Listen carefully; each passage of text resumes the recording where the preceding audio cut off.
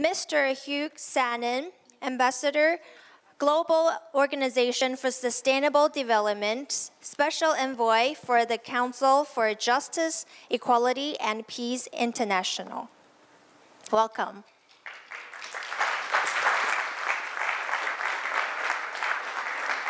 Please announce your wish of peace to the world.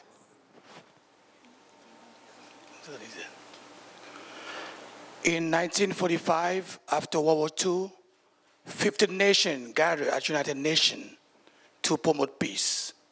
But that did not prevent trillions of dollars being spent on war and billions of people died. My wish tonight is for love and peace and forgiveness and reconciliation. We need to stop interferences. We need to stop going to other country and steal the goals and resources.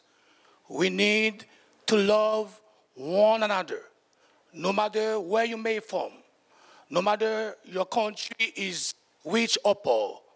We are one world. Let's all us get together to promote peace and love, and we can do, do this to a conscience. Thank you very much. Thank you.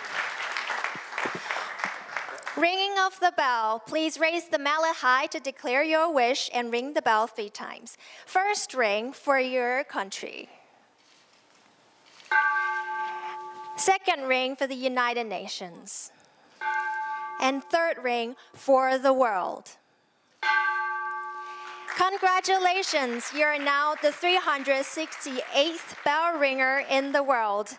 Dr. Hong is presenting you the certificate of honor to congratulate you to become one of the bell ringers. And next, Dr. Hong is presenting the key to the heart.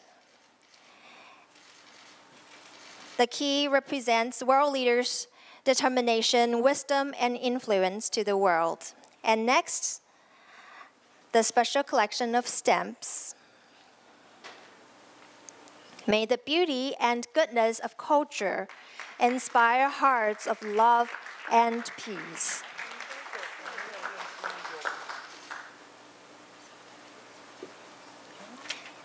Thank you, thank you, His Excellency. You may return to your seat.